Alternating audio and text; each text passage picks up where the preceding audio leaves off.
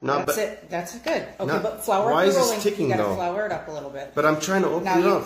Okay, but you gotta put pressure. You're gonna have to. Oh my god. Babe, why did you say put pressure?